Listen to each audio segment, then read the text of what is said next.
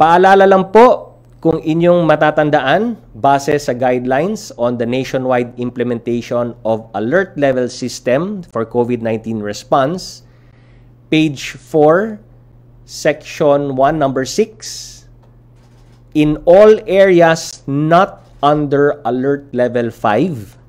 establishments permitted to operate under each alert level may be allowed additional venue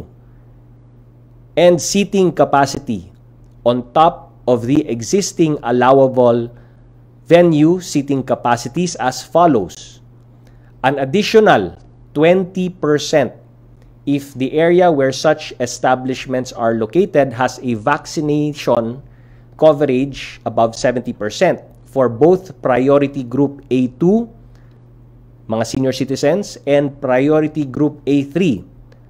adults with comorbidities, as determined by, by the vaccine cluster of the National Task Force Against COVID-19.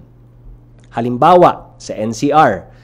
na matagumpay nang naabot ang above 70% sa pagbabakuna for A2 and A3, meron pong karagdagang 20% sa mga establishmento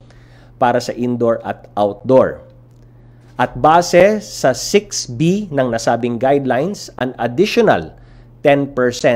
if said establishments have been awarded safety seal certificates under the Safety Seal Certification Program.